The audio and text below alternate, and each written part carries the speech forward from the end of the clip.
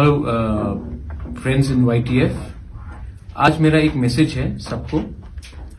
आपने नोटिस किया होगा कि हर साल गर्मी के टाइम हमारे तिपरासा गाँव के में पीने का पानी का बहुत प्रॉब्लम रहता है। तो मैंने सोचा है कि क्योंकि DWS drinking water supply department हमारे साथ नहीं है ईडीसी के अंदर एडमिनिस्ट्रेशन में नहीं है।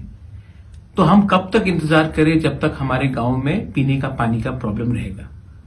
तो मैंने अपने वाईटीएफ वर्कर्स को वॉरियर्स को लीडर्स को मैंने आज अनुरोध करना चाहता हूँ रिक्वेस्ट करना चाहता हूँ कि आप लोग अपने ब्लॉक में, अपने डिस्ट्रिक्ट में एक अपना प्रोग्राम करके मालूम कीजिए कि कितने गाँव हैं जहाँ में गर्मी के टाइम पीने का पानी का प्रॉब्लम है। क्योंकि गवर्नमेंट हमें हेल्प नहीं करेगा तो हम अपने लोगों को अकेला नहीं छोड़ सकते हैं। पानी सबको दरकार है। कोई सीपीएम में हो बीजेपी में हो, कांग्रेस में हो, मोथा में हो, तृणमूल में हो, पानी सबका वाटर इज़ लाइफ और हमको अपने विलेज में, अपने गाँव में सबको हेल्प करना चाहिए। तो वाईटीएफ को मैं अनुरोध करना चाहता हूँ रिक्वेस्ट करना चाहता हूँ, आप लोग एक असेसमेंट कीजिए और मुझे डिटेल्स दीजिए। वाईटीएफ अगले दो महीने के अंदर हर गाँव में जाकर पानी गाँव को देगा, जहाँ में उनको पीने का पानी का प्रॉब्लम है।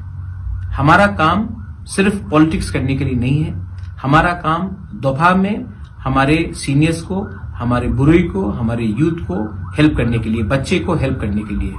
इसी के लिए मैं आज आप सबको रिक्वेस्ट कर रहा हूँ कि आप लोग एक असेसमेंट प्रोग्राम बनाइए और अगले दो महीने में ऐसा कोई भी गाँव नहीं रहना चाहिए जहाँ में वाईटीएफ जाकर गाँव में पीने का पानी नहीं देगा। हमारे तिपरासा लोगों को जो इस गर्मी में सफ़र कर रहे हैं। बेलाइनो हम्बाई धन्यवाद। तिप्रा मोथा आइक्लॉक्थोंग वाईटीएफ आइक्लॉक्थोंग एफ़ आइक्लॉक्थोंग